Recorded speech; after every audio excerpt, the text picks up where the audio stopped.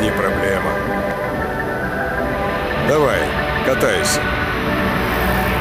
Действуй по-русски. Выбирай запчел.